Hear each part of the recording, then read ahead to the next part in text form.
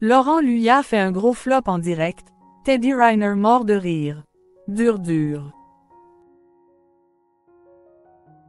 Sur France 2 en direct le 14 septembre, pendant la retransmission de la parade des champions olympiques et de la soirée festive, Laurent Luyat a été gentiment moqué par Teddy Reiner après avoir été ignoré par le public. Le 14 septembre au soir, la parenthèse enchantée des Jeux olympiques et paralympiques de Paris 2024 s'est officiellement refermée après la parade des champions, organisée sur les Champs-Élysées. Les athlètes médaillés qui ont fait battre le cœur des Français depuis le mois de juillet ont notamment eu le plaisir d'être décorés du titre de chevalier de l'Ordre du Mérite, sous l'arc de triomphe et de retrouver la ferveur du public, présent pour les féliciter pour leur victoire. Sur France 2, la grande soirée événement a été retransmise en direct, animée par Léa Salamé, Nagui, mais aussi par le journaliste Laurent Luyat.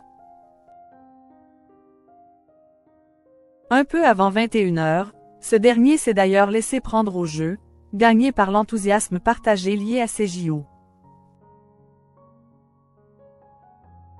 Récupérant la parole après que le duo de présentateurs a demandé au public, représentant des milliers de personnes, s'ils sont là, prêts à poursuivre cette soirée festive, et avoir obtenu des cris de joie, le journaliste sportif de 57 ans a remercié tous les athlètes présents sur son plateau.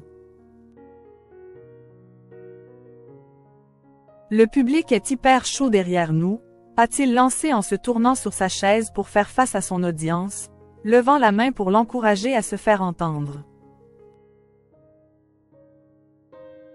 Malheureusement pour lui, les spectateurs n'étaient pas aussi bruyants qu'il aurait pu l'espérer et Laurent Luyat a simplement fait face à un grand silence.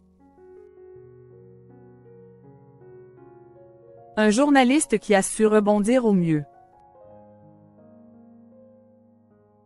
Ils ne m'entendent pas, ce n'est pas grave. Allez, s'est-il rattrapé, riant nerveusement, en décidant de s'adresser à Teddy Reiner, présent à ses côtés. On lance ensemble le show, a-t-il lâché pour rebondir après son flop? Quant au judoka de 35 ans, il ne fallait pas compter sur lui pour faire comme si de rien n'était. Tirant la langue pour se moquer avec humour du vent reçu par Laurent Luyat et le pointant du doigt avec amusement, le champion s'est mis à rire.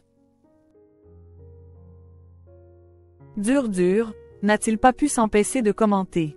Il m'entendait tout à l'heure. Qu'est-ce que vous voulez que je vous dise? a affirmé le journaliste.